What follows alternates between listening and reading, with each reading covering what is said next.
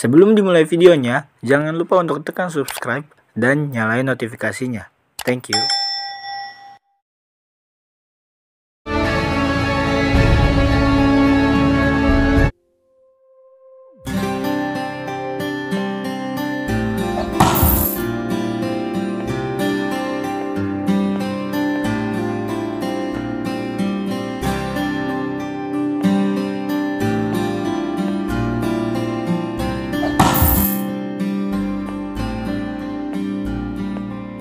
It's so good.